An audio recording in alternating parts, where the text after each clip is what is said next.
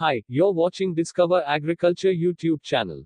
A transplanter is an agricultural machine used for transplanting seedlings to the field. This is very important as it reduces the time taken to transplant seedlings when compared to manual transplanting, thus allowing more time for harvesting.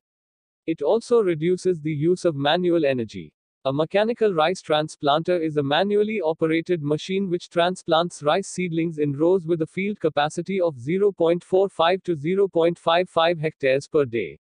A seedling mat cut exactly 20.5 centimeters wide by 40 centimeters long is used with the transplanter. It is easy to operate and maintain. It measures 146 by 85 by 70 centimeters and weighs 24 kilogram. It transplants seedlings with a 20 centimeters row spacing and depth of 1 to 3.5 centimeters. About 3 to 5 seedlings are transplanted per hill.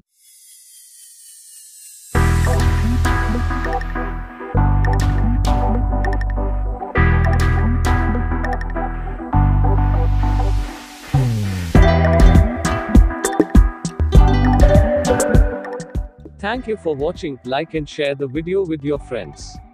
And if not subscribed our channel, subscribe to Discover Agriculture.